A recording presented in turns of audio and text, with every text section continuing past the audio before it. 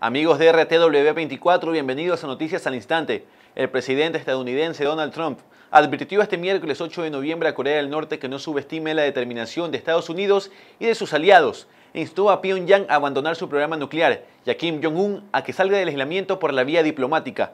Mientras tanto, con pancartas y gritando libertad, independentistas catalanes cortaron este miércoles 8 de noviembre autopistas, carreteras, calles y vías de ferrocarril en protesta por el encarcelamiento de sus líderes en una jornada de huelga general menos seguida que la anterior.